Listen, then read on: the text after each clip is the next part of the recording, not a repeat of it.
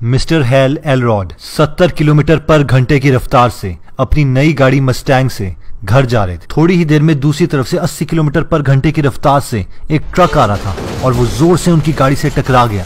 धमाका इतने ज़ोर से था कि वो अपनी स्टेयरिंग व्हील और सीट के बीच में दब चुके थे। जैसे ही रेस्क्यू टीम ने खून से लथपथ हेल को गाड़ी से बाहर निकाला, उनकी साँसें रुक चुकी थी। लेकिन छह मिनट के बाद उन्हें अचानक होश आ गया और जल्दी से उन्हें हॉस्पिटल ले जाया गया। हॉस्पिटल में पता चला कि उनकी 11 हड्डियाँ टूट चुकी थी और उनकी सात सर्जरियाँ हुई। जब छह दिनों के बाद उन्हें होश आया तो डॉक्टर्स ने उन्हें बोला कि अब उन्हें अपनी पूरी ज़िंदगी व्हील चेयर पे गुजारनी पड़ेगी। उस वक्त उन्होंने सोचा, हो सकता है ये सच हो और मुझे अपनी पूरी ज़िंदगी इस तरीके से ही गुजारनी पड़े। लेकिन जो भी हो, मैं हर सुबह अपनी लाइफ को इतना पॉजिटिव कर दूँगा कि मेरा पूरा दिन खुशी से गुजरे। उसके बाद उन्होंने हर सुबह एक छह स्टेप्स का रूटीन फॉलो किया, जिससे धीरे धीरे उन्होंने अपनी पूरी लाइफ चेंज कर दी।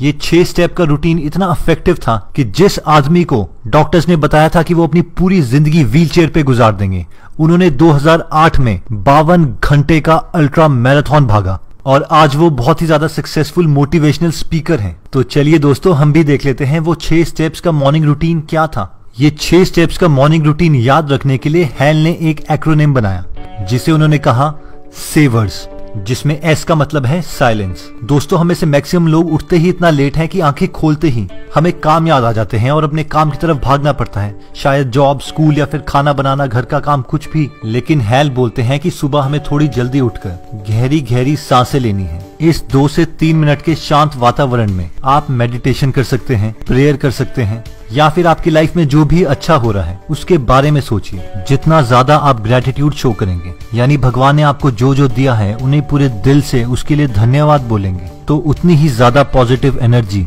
आप अपने में महसूस करेंगे। दोस्तों, दूसरा आता है ए यानी एफर्मेशन दोस्तों, अपने दिमाग को सक्सेस के लिए प्रोग्राम करने के लिए और अपने को कॉन्फिडेंट बनाने के लिए हम एफर्मेशन करते हैं। ये चीज़ हम कुछ इस तरीके से कर सकते हैं इमोशन के साथ अपने गोल को बार बार रिपीट करके कि हम क्या करना चाहते हैं, लाइफ में क्या पाना चाहते हैं। ये चीज़ कॉन्शियसली करने से हम अपने सब कॉन्शियस माइंड को प्रोग्राम कर सकते हैं। ऐसा करने से हमारे थॉट्स हमारे विचार चेंज होंगे, जिससे हमारा बिलीफ हमारा विश्वास चेंज होगा और ये हमारा बिहेवियर चेंज करेगा, जो फाइनली एक अच्छी हैबिट में कन्वर्ट हो जाएगा। दोस्तों नेक्स्ट आता है वी यानी विजुअलाइजेशन जिसका मतलब है मेंटल रिहर्सल यानी अपने दिमाग में पिक्चर्स देखना, उन स्पेसिफिक बिहेवियर की या आउटकम की जो आप अपनी लाइफ से चाहते हैं।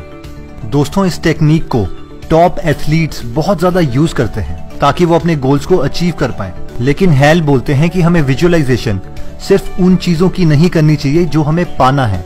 बल्कि उन चीज़ों की ज़्यादा करनी चाहिए जो उस गोल को पाने के लिए हमें स्टेप्स करने पड़ेंगे। नेक्स्ट आता है ई e, यानी एक्सरसाइज हेल बोलते हैं कि अगर हम एक्सरसाइज को अपने मॉर्निंग रूटीन में इंक्लूड कर दें तो ये ना सिर्फ़ हमारी एनर्जी को बहुत ज़्यादा इंक्रीज कर देगी बल्कि हमारी हेल्थ को भी इम्प्रूव करेगी हमारे सेल्फ कॉन्फिडेंस को और हमारी थिंकिंग पावर को भी इम्प्रूव करेगी। इतना ही नहीं एक्सरसाइज करने से हमारे दिमाग में बीडीएनएफ रिलीज़ होता है ब्रेन डिराइव न्यूरोट्रोफिक फैक्टर जो कि एक एंटी डिप्रेसेंट का काम करता है, जिससे हमारा स्ट्रेस लेवल डिप्रेशन कम हो जाएगा और हम चीज़ों पे ज़्यादा देर तक फोकस कर पाएँगे। नेक्स्ट आता है आर यानी रीडिंग हेल बोलते हैं कि अगर आप अपनी लाइफ में बहुत जल्दी सक्सेसफुल होना चाहते हैं तो ये सिर्फ़ रीडिंग से पॉसिबल है। दोस्तों, यही एक तरीका है जिससे आप अपने से ज़्यादा इंटेलिजेंट लोगों से बहुत जल्दी नॉलेज अचीव कर सकते हैं, उनसे आइडियाज़ ले सकते हैं, उनकी स्ट्रेटेजीज इस्तेमाल कर सकते हैं और अपने लाइफ में लेवल टेन पे पहुँच सकते हैं। जब भी आप बुक पढ़ें तो ये मत सोचिए कि आप चार काले अक्षर पढ़ रहे हैं। आप ये सोचिए कि आप बहुत ज़्यादा इंटेलिजेंट आदमी के साथ एक चाय पी रहे हैं, जो आपको अपनी पूरी ज़िंदगी के आइडियाज़ दे रहा है। दोस्तों लास्ट आता है एस यानी स्क्राइबिंग